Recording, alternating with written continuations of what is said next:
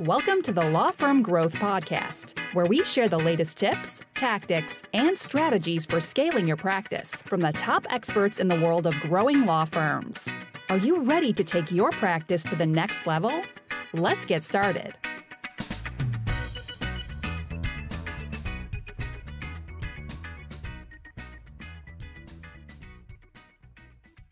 Hey, everybody, welcome back to the Law Firm Growth Podcast. I'm your host, as always, Jan Roos, and I'm here with a good friend, first time podcast guest, though, Enrico Linscheer. So, Enrico is co founder, would you say, founder, Legal LegalGen? Yeah, founder of LegalGen. Okay. And um, Enrico was introduced to me by a friend of the pod, Tom Boris, and then another friend of the pod, Julie Steinbacher. And I just realized that these guys were doing a lot of stuff with some of the biggest firms that we've ever encountered as clients. And the more I've gotten into what Enrico and his team are doing with Legal Gen, the more I realize that this is something that people on the podcast have to hear about. So super happy to have you on the show, Enrico, and ready to uh, get into the story and then let people know what you got going on. Hey, thanks for having me on. You know, I'm I'm glad we got to we got introduced to each other. You're doing some fascinating stuff myself, uh, yourself, and um, you know, glad to be part of your network. So, I mean, you know, I, yeah, I'm the founder of LegalGen. I mean, it's been a long journey as far as software developing products. I mean, I've been in the software industry, IT industry, but IT is big, right? So I kind of like to narrow it down to software delivery. I've gone back between corporate America and, and having my own my own startups. But the journey for LegalGen really started at I would say like 10 years ago, I was in a medical software company. Um, I owned a medical medical software company. And yeah, I was a reseller, you know, and when you're re- when you're a reseller, you kind of you, you kind of have some restrictions or constraints as far as what you can do. And I'm like, you know, if, if there's an industry and a space and a problem I can solve, you know, then that's that's what I want to do. And I, I, didn't know at the time it was going to be an attorneys and it was going to be in, in, this space. But I, I sold that company, went back to corporate America, and then I started a software development company. And then as far as for me, uh, the software development company, I was in, I was in uh, uh, the BNI, you know, and I was developing software, you know, but I have a culture. The, the it's, it's important to talk about the culture because I like to partner with my clients. I like to be a little different about the way that I provide a service. You know, in software, everybody has change management. You can't just, you can't, you know, you, you don't want to institute change because it's expensive.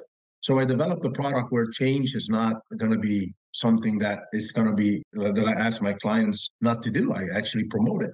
But then, you know, one of my clients, one of my contacts in my network was an attorney here in Dallas, Carol Buttress, and I was going to do my, I was actually going to do my will with her, you know. And so we referral program and and I talked to her and, when she when when I talked to her, she's like, okay, you gotta come see me three or four times. Uh, it was less, but she's two or three times. This is gonna be the process, and and it just didn't seem like it was a good fit for me um, at the time to go through that process. So I asked her, like, you know, why why? So basically, I said to her, I'm gonna wait wait a little bit and and maybe do it later. And and we got to talking, and she's like, you know, Enrico, there's this demographic like yourself that I just can't touch. You know, there's just I'm, I'm, working for a big law firm, and I'm just not able to to service them. So let's talk about it. Let's let's see what we can do. And that's when I said, okay, I, I met with her partners and we walked through the process. And estate planning is, is very unique because you really design a plan. It's a lot of consultation and you really make a huge difference as an attorney to do an estate plan. And, you know, you don't know that until, until you learn about it and, and about you know but while you do that there are some decisions and there's some per state it's i kind of don't want to call it static but you got the legal language and then you have the dynamic data and the decisions that have to go in there. So we developed it. It took some time for me to learn and, and develop it for her practice. But the really cool part about that story is that when we were finished, I realized one, it's a pretty unique industry. It's it's most attorneys, people know about each other, they they know each other, but there was no conversion. She was doing what she's doing today. She was still seeing her clients. But then every every month there's a couple of clients like myself that she was able to service afterwards that are just kind of going through the estate plan. They can do it online which is LegalGen so that's kind of like the start of LegalGen that, that and how it got started and then it expanded from there you know with first in dallas and on, onwards. Okay, that's awesome. And then just to kind of take something out of that too, and what I think is super fascinating about, I think everyone that's listening to the show at some point in their career, especially if they're a estate planning attorney, heard the words that sounds awesome. I don't think this is the right time for me. I don't have the money for it right now. Oh my God, I want to do this so much. So what you were able to do with her initially and with more of the clients you've worked with since is essentially opened up, you know, an additional market for those people and kind of almost like being able to reach uh, kind of competing directly with clients or, you know, competitors like LegalZoom, but also, you know, just kind of helping this access to justice thing that everyone's like really been, you know, huge, huge movement in the in the industry so far, right?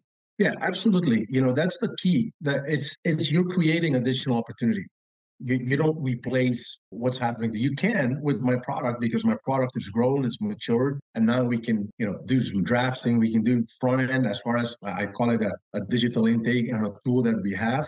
But the key part is that our clients, my clients, first, the passion that I have for the product is because I solved something for me. And that's the best part. You know, I solved something that works for me really well. Now, the product now doesn't solve it just for myself, but you know, I'd like to be online. I like to be on my phone. I, would like to be able to make my decisions anywhere I am. You know, I'd like, but at the same time, I don't want to go with LegalZoom. I, I you know, I, I want to talk to an attorney. I want to connect with their office. I want to make sure it's a culture match. So that's where I feel like whenever I developed it and everything I did, which was primarily from all my clients, every time I had a new client, they would teach me more and i was able to incorporate it in the product and that's how the product grew. But at, at, at all times it's like not creating a competitive environment. I'm not replacing uh, the process that they have today. I'm not competing with legal zoom i'm not competing with elder counsel. It's a unique product that's catered specifically for my clients. And that's where the earlier part that i said it's not about uh, change management, right? I want my clients to tell me how they do their workflow, and I want to match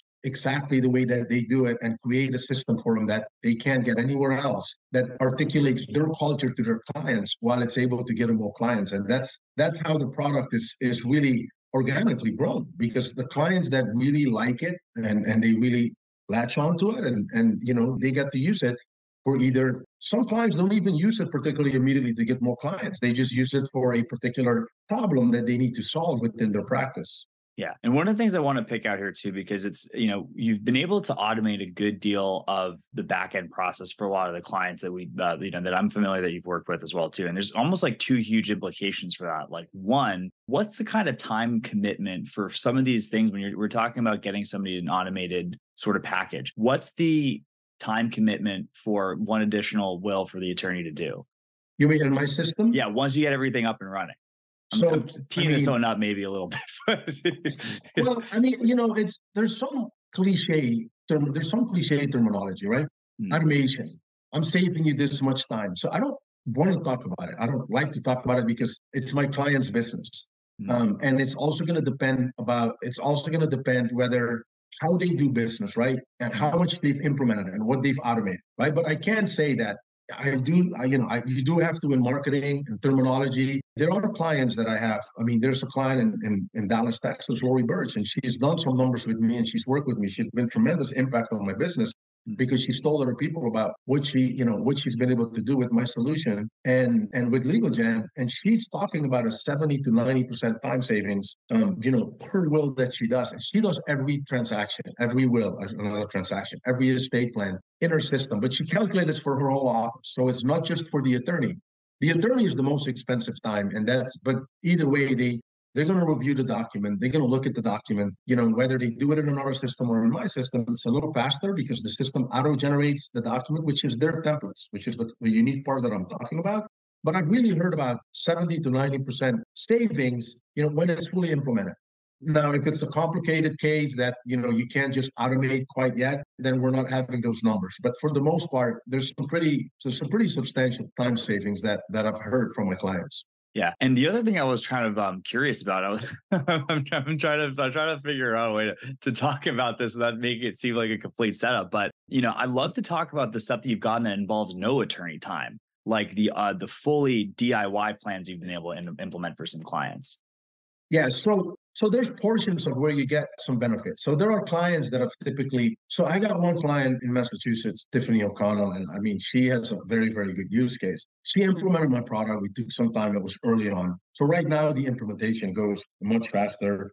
But she implemented the product, and while she was implementing it, it was right during COVID and she picked up a legal plan. And the reason why she did that is because the cost of a legal plan is not is is not substantial enough to justify clients doing it, right? Because if you know my clients. If you're an attorney, you're going to do it, and the money that results from that is just you know it takes the same time generally as we all know, when, when you have a client, um, you know, I'm going to call it an end user, it's going to take the same time. But she she said, you know, I now have this automated where a client can call me. So the way that a legal plan works is they pay the attorney. So I pay per month. If you're in corporate America, or if you want to, you pay per month. If you got a traffic ticket, if you want to do an estate plan, you want to set up a company, you can call, and then they'll pay the attorney. So generally, it feels like it's a lower cost type of target market, but but it's not because it's mostly people that are in corporate America. So, um, because it comes with the package. So then, because she was able to say, I'm going to use this product.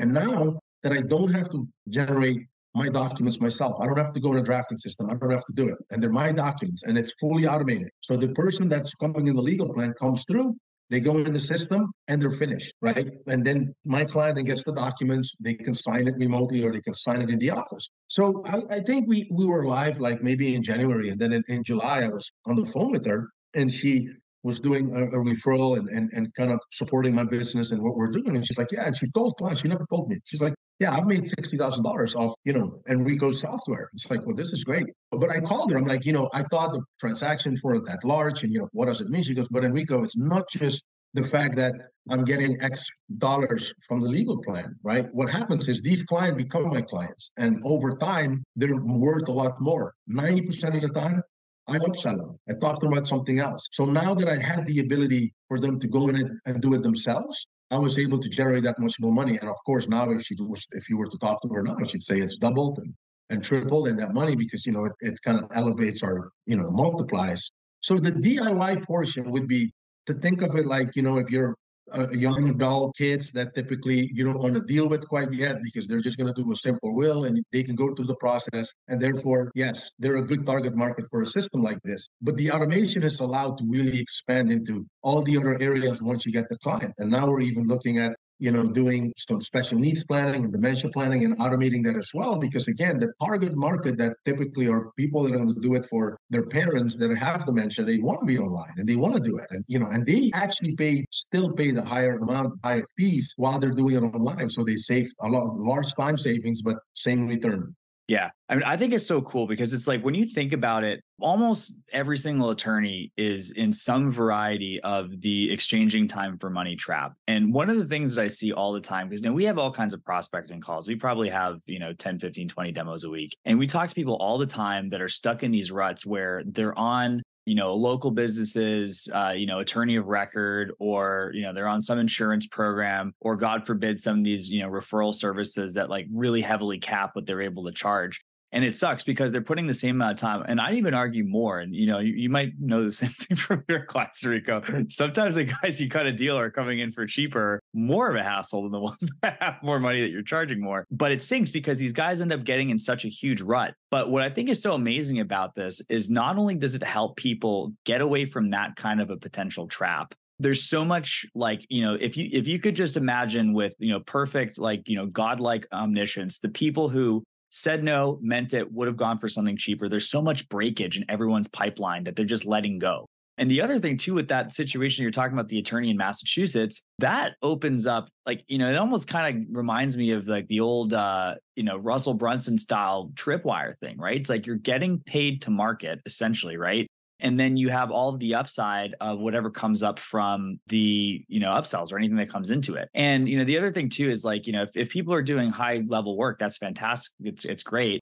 But the thing that i will say is and I, I think this is an advantage is that like the more people you can get in your total throughput of clients every single one of those people is a potential referral source. So you know if you're making 10 20 grand a month if that comes from 10 people instead of two people, I mean, you know, it's the same money you're taking home, but that's 10 more people that can, or eight more people that you can refer out, right? So it's so cool. I haven't seen anything like this to the point where it's just like people are able to really break this trap and, and, and get like a real productized side to like their own estate planning business. But um, yeah. yeah, let's talk about some more of those things too. So it's like you know, as far as uh, kind of those uh, those outcomes, like what other stuff have people been using with uh, with uh, automating this stuff in their in the platform? Any other like cool case studies that you can share? Yeah. So I mean, I got I got so I thought the case studies are all about the attorneys, right? The reason why this product resonates so well, and I'm so excited and passionate about it, is because it serves, like I mentioned earlier, it serves a need for me. right? And then, so so before I talk about all the case studies of, of my clients, I, I talk about something that's a bit close to me. You know, pretty pretty recent. My um my mother-in-law, she had dementia. She passed away since, and she's she's had um, Bonnie-Lewy dementia. I mean, it's terrible. It went really fast, you know. But the reason I'm talking about it is because my wife and my brother-in-law and they came here, and it was interesting because you know they needed to get a power of attorneys, right? Now, before my brother-in-law knew in detail what I was doing, you know, he's looking, you know, and and you're doing so many things. You're trying to support and you're trying to be there. So you're not really thinking about the necessities. And, and as I'm listening to a conversation and, and he's like, you know, we need to get a power of attorney, right? So I'm like, well, what do you, what, you know, have you talked to some attorneys? I'm thinking, well, I got quite a few attorneys. He goes, yeah, but we need it now. And, you know, I got someone scheduled two weeks out and they want to meet with me and consult with me. And I, I we just need it now. I said, okay, no problem. So go ahead and go online. Um, I'm here as one of my clients and fill this out, right? And the product literally was able, you know, he was able to go in, print the power of attorneys. But what happened is he was so excited. I mean, first of all, he gave me some props, which I like, but he was so excited that, you know, that's the attorney he went with just because she had that available online. And his experience was so much better than to have to go in and talk to someone. So, you know, we all want to provide value. We all want to create value. And to have a product that you can have online that an attorney could have for their clients and create value when you have someone that is able to, you know, just go online and print it out. And of course, that attorney now became the attorney that did all the planning for him because he needed quite a bit of the dementia planning. Was a bit late. So that's kind of the, the end user story about an experience that we don't think about.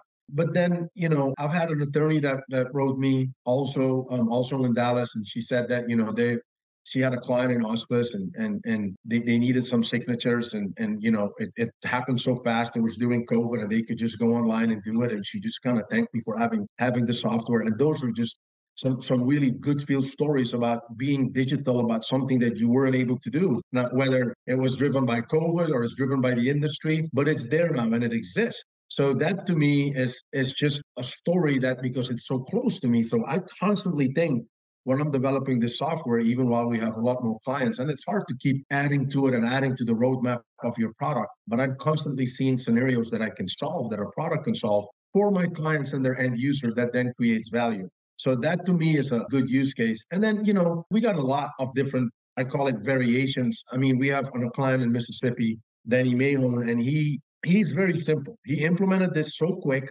because he had he has, you know, some clients that are financial advisors and you know they had a certain clientele that they wouldn't refer to him because of you know again it would require quite a bit of work and understanding and meeting but then he created this product that he could just provide to them so that now they're able to just give that to their clients and then it's a client right away. And uh, same thing like my first client in dallas i mean the payments and everything is collected and fully automated. Um, so it's just an additional money stream that he's able to get while the financial advisor and the end users have a better experience. Yeah, that's fantastic. And you know, to kind of co-sign on that whole thing as far as just getting helping the situation. I mean, I always say this for for people that are on like, you know, demos. If people aren't aware of it, just we got a lot of people in this country that, that need documents that don't have them. It's like what 60% plus. And you know, not every single one of those people, like, you know, to your point, has the time to go through a consultation process. Like, you know, a lot of the time stuff is too late. I mean, also, you know, I, I hate to, you know, let people use this as an objection, but sometimes people genuinely don't have the money or it's not the right fit. I mean, I would love for everyone to be charging, you know, four or five K to retirement age people. But the truth is, it's like, you know, there's a lot of people who are 35 right now that probably need this who might not make it to there whether they know it or not and it's better to have access to that stuff for the attorney and for you know the world as a whole if you ask me so you know it's also cool too just like the creativity that you've had with your process enrico and being able to turn some of those different visions into like real implementations that people are using um, is fantastic. So I want to dig into that a little bit more. So, you know, when you work with a new attorney, what's your process for finding out what they do and how are you able to map that into the platform that you end up creating for them?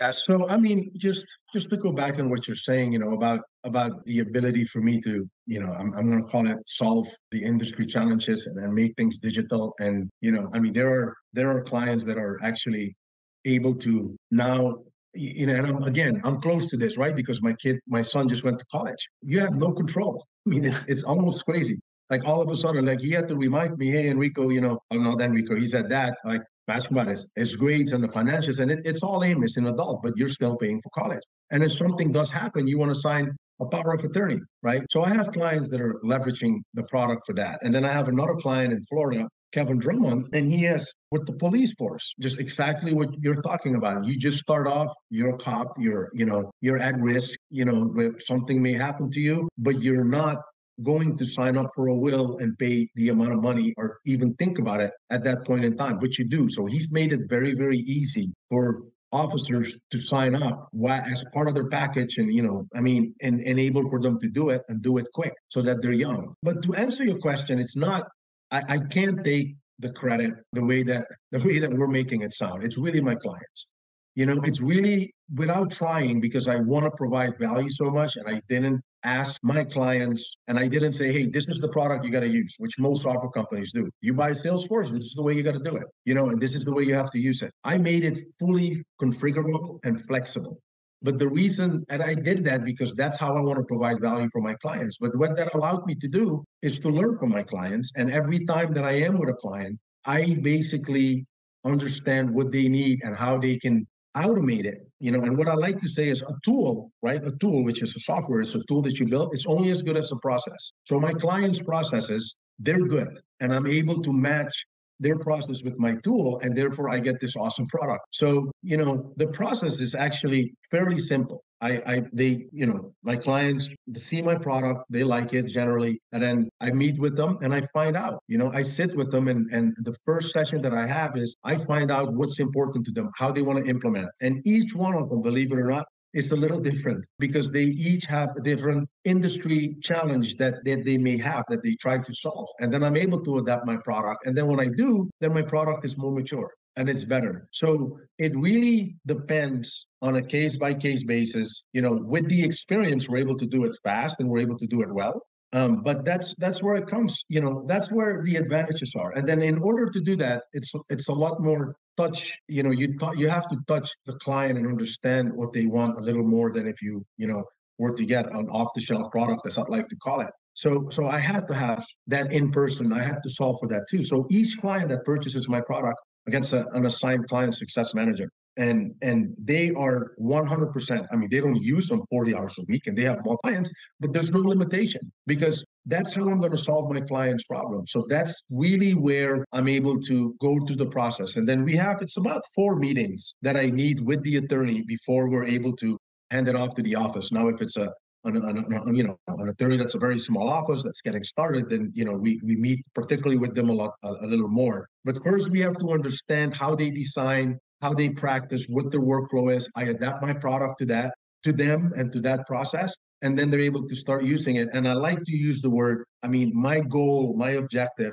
and I measure this, you know, or have my client success managers measure this to make sure they can monetize on it, right? Product and software and technology shouldn't be a cost like everybody thinks. There's so much opportunity that you should be able to monetize on it. You should be able to get an ROI. And if you don't, then maybe it's not the right product, you know, and but there's two ways to do it. It's not just money you know it's also a time savings. And like i said it's cliche. So we really measure it. We really say hey am i saving you time? Am i saving your office time? And i'm glad to say that 99% of the time it's a yes. If they really use the product and implement the product it will save them time or they can reach out to other customers they wouldn't yeah, it's interesting too, and it's funny. I think we, you know, uh, this is a little uh, looping in a little off podcast conversation too. It's funny because I actually was I, I did a year in the, the value added reseller space right outside outside of college too, and like it's the thing too.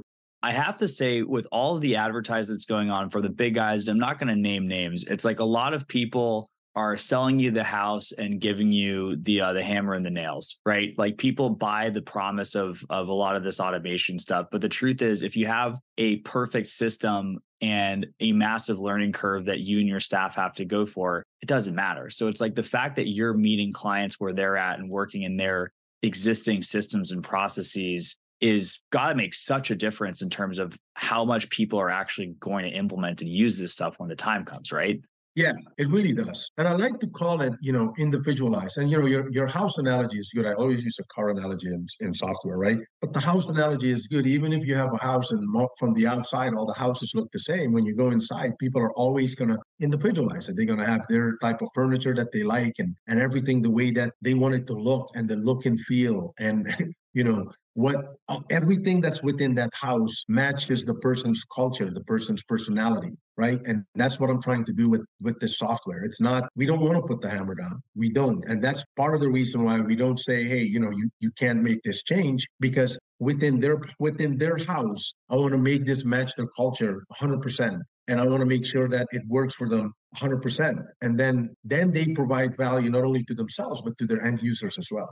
Yeah I think it's so key too, just like, you know, in general, like one of those, it's, it's one of those steps you see things falling apart so often. And this is just, you know, speaking of business services in general too, it's like the speed that you can get. And I, I look at this both as a service provider and as somebody who, you know, I buy services all the time. It's like the faster you can get that win for yourself, the more it reinforces that it's something that was the right decision to make in the first place. And you know, if there's an ROI associated with it, then you, you just got it for free, right? That's the whole, that's the whole idea, and you can leverage it beyond that, right? But no, that's awesome. And then you know, I know we've talked a lot about estate planning stuff too, but do you guys do any work outside of those uh, that specific practice area? Have you guys done any other practice areas?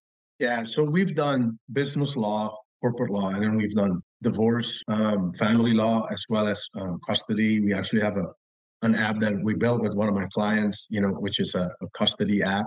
Um, because again, oh, that's fascinating. You know, yeah, it really is. It really is. It was, believe it or not, it was like a pretty difficult project for me because when I talk about estate planning and I could resonate to it so quick, but you know, with divorce planning, you know, and you're in Texas, but there's so many rules, you know, even if you have shared custody and to build all those rules. But but my client is able to give it to um, you know their their end users as i like to say but also our product. So our our legal gen product when you make some decisions and you know you make some options if you're going through family divorce and you're doing an intake then you can actually you can actually choose if you want that you know going to have shared custody of what you eventually want if you're not going to go because most of the time the, the cookie cutter approach to family law is a little different you know because you'll have to meet in person when two people are going through a you know a divorce unless they do it amicably. So so that's that's legal gen. But legal gen has an online interview and that's been the focus that i've had the last couple of years and that's where i build it out. That's where i get the the, the benefits to my clients and that's where it's fully configurable. But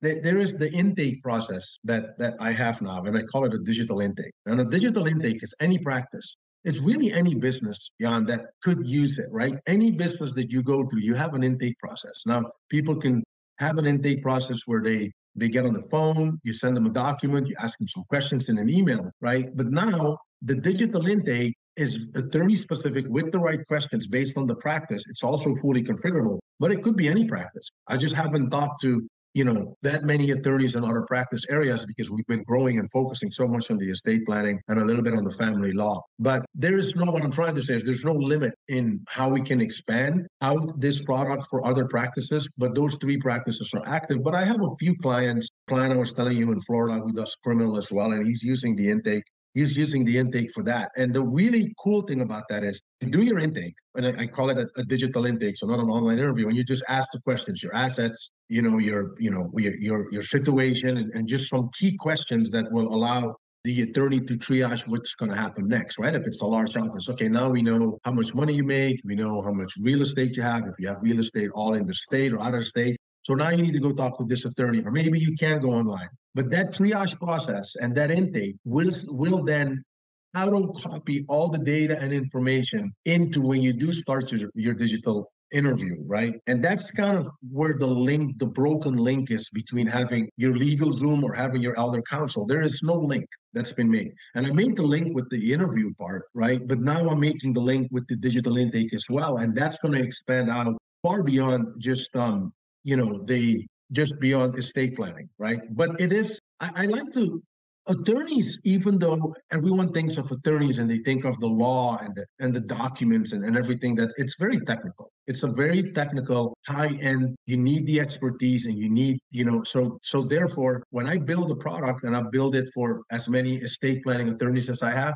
that product solves all the technical capabilities of it automatically. And that's the online interview. The intake is a little simpler because that's kind of the front end. It's kind of the sales tool that you can use, and that expands into any area.